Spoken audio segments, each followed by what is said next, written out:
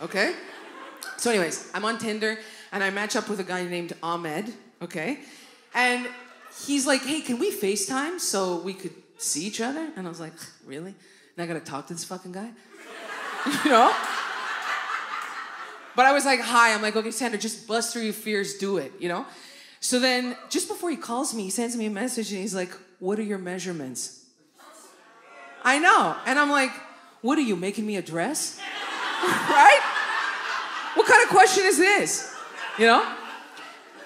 And then FaceTime lights up, I answer, and then he's like this. He's like, oh, nice. Five foot six, huh? He's like, what's that in centimeters? I gotta do conversion for you too? And what do you need all these numbers for? You know what I mean? What are you building me a coffin? Right? Holy shit.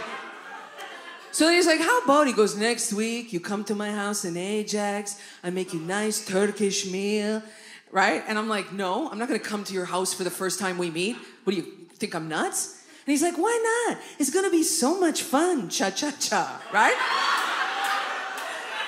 I'm like, I can imagine I drive up to Ajax, right? I have this Turkish meal laced in poison, you know? I die, foam at the mouth, you know? And then this and then this guy dresses me in the dress he sold me. Right? Puts me in the coffin he built me. And then shoves me in the basement. Right?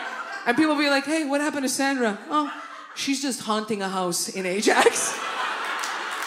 She had no choice. You know what I mean? Woo! I love you guys.